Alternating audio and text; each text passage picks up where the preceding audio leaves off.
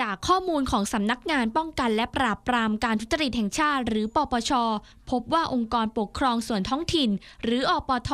และผู้บริหารท้องถิ่น มีคดีทุจริตมากที่สุด จึงมีการกำหนดกลไกแก้ปัญหาขึ้น คือการยื่นบัญชีทรัพย์สินและหนี้สิน แต่พบว่าอปทจำนวนมาก ไม่ยื่นแสดงบัญชีทรัพย์สินต่อปปช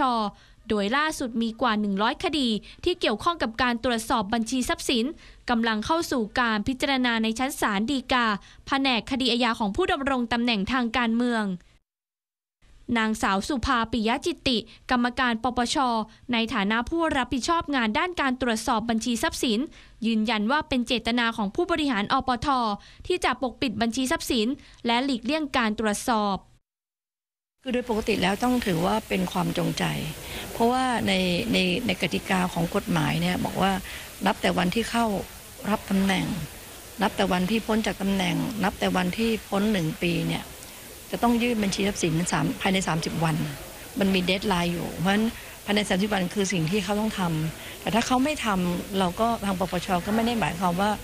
จะใจร้ายนะก็ก็ให้โอกาสก็คือทวง ทวงครั้งที่หนึ่งก็ 30 วัน แล้วก็ครั้งที่สองก็ 15 วันครั้งที่สามก็ 15 วัน ก็คือรวมแล้วทั้งหมดเนี่ยก็คือให้เวลาเขายื่นบัญชีทรัพย์สินเนี่ย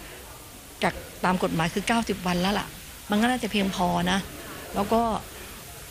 การเตือนเนี่ยก็คือเตือนแบบเมตตาก็คือ 3 ครั้งสามครั้งซึ่งซึ่งเราก็คิดว่ามันคงจะเพียงพอในการที่จะทำบัญชีได้ แต่ยังไงก็ตามถ้าเกิดว่า คนไหนก็ตามที่บอกว่าภายใน 30 ภายในระยะเวลานั้นยังยื่นไม่ได้ เพราะเหตุอะไรก็สามารถทำเหตุผลมา แต่หลังจากนั้นเนี่ยถ้าไม่ยื่นเนี่ยเราไม่เราไม่ปราณีเราไม่เมตตาแล้วนะเราก็ต้องถอดถอน บางครั้งเนี่ยพี่เรียนจริงๆอะ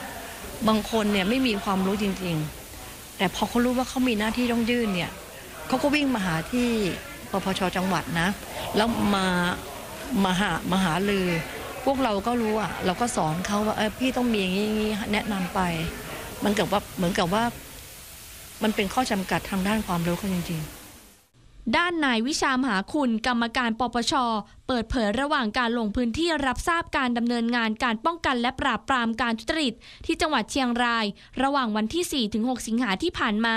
โดยระบุว่ามีผู้บริหารอปท ในพื้นที่ภาคเหนือส่วนใหญ่ ถูกร้องเรียนในประเด็นร่ำรวยผิดปกติมากที่สุด เพราะการบังคับใช้กฎหมายของปปช ในองค์กรปกครองส่วนท้องถิ่น ยังไม่มีความเข้มงวดเท่าที่ควร ดังนั้นกรรมการปปช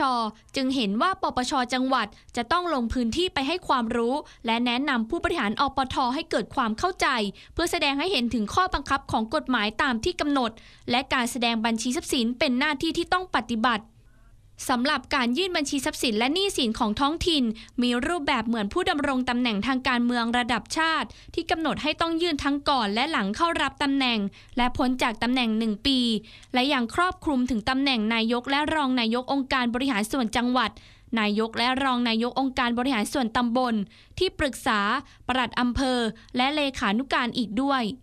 ซึ่งหากพบว่ามีผู้ที่จงใจไม่ยื่นบัญชี จะต้องได้รับโทษถูกถอดถอนออกจากตำแหน่งเป็นระยะเวลา 5 ปี และหากศาลฎีกาแผนกคดีอาญาของผู้ดำรงตำแหน่งทางการเมือง ตัดสินว่ามีความผิดจริง จะต้องถูกจำคุก ตามจำนวนบัญชีที่ไม่ยื่นแสดง โดยจะโดนจำคุกบัญชีละ 2 เดือน คือในหลักหลักการของพี่คิดว่าพี่ว่ารัษฎรเนี่ยก็ควรจะต้องเลือกนักเลือกเลือกนักการเมืองท้องถิ่นที่มีความโปร่งใส ก็คือหนึ่งเขาต้องยืนบัญชีทรัพย์สินสองเขาต้องเสียภาษีแต่ถ้าสองสิ่งนี้นักการเมืองท้องถิ่นทำไม่ได้ ก็ไม่ควรเลือก เพราะเท่ากับว่าเขาจะใช้โอกาสนี้ในการที่จะเอาทรัพย์สินของแผ่นดินเป็นของตัวเองนะคะนั้นมันมันเป็นหน้าที่ของประชาชนอะในการที่ดูแลว่านักการเมืองของตัวเองเนี่ยมีความสุจริตหรือไม่ ถ้าเรานักเลือกนักการเมืองที่ทุจริตเข้ามาบริหารประเทศ มันก็เหมือนกับทำร้ายประเทศอะเราก็ร่วมทำร้ายประเทศด้วย แม้ปปชจะเน้นบังคับใช้กฎหมายอย่างจริงจังแล้ว แต่สิ่งที่จะช่วยทำให้รากเหง้าของการทุจริตเปลี่ยนแปลง และเกิดเป็นผลป้องกันและปราบปรามการทุจริต ประชาชนในท้องถิ่นจึงเป็นตัวแปรสำคัญ ในการเฝ้าระวังและชี้เบาะแสการทุจริต เพื่อทำให้ท้องถิ่นเป็นชุมชนช่อสะอาด ตามวิสัยทัศน์ของปปชต่อไป สุภรักษ์พัชโลพาดวัฒนกุล ทีมข่าวการเมืองสปริงนิวรายงาน ช่วงนี้พักกันสักครู่ก่อนนะ